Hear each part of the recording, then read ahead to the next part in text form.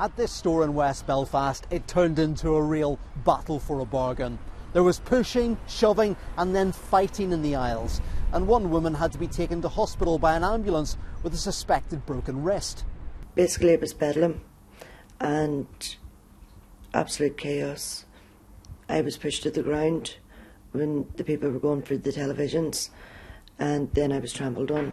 The cracked glass is one sign of what happened at this store.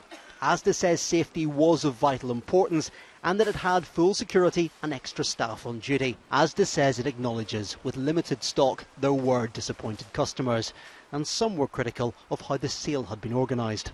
They should have queues for people to get bargains like that. It's ridiculous the way that was this morning. But you um, would fight for a bargain? No, not really. I wouldn't hurt somebody. I wouldn't hurt somebody. I'm glad to hear it. No, I wouldn't. Not for a bargain. And there's no doubt the events of Black Friday have cast a rather dark shadow over Asda's pre Christmas sales. Chris Buckler, BBC News, Belfast.